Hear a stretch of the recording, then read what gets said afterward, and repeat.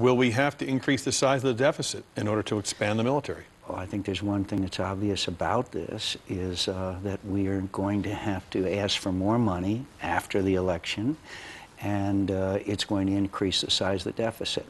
And again, maybe we're going to have to make some tough, tough choices. You know, during the Vietnam War, they accused Lyndon Johnson of employing a strategy of guns and butter. Well, now we're, we're employing a strategy of guns and pork.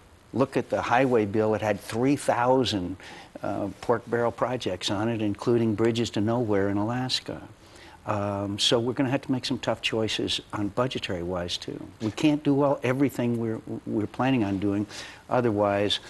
Medicare goes broke, Social Security goes broke. Alan Greenspan, as you know, a couple of weeks ago said that we're going to have to change the benefit for retirees. Do you know a politician that's going to vote for that?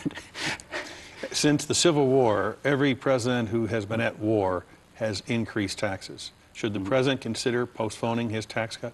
I would have, I voted against the tax cuts because of the disproportional amount that went to the wealthiest Americans.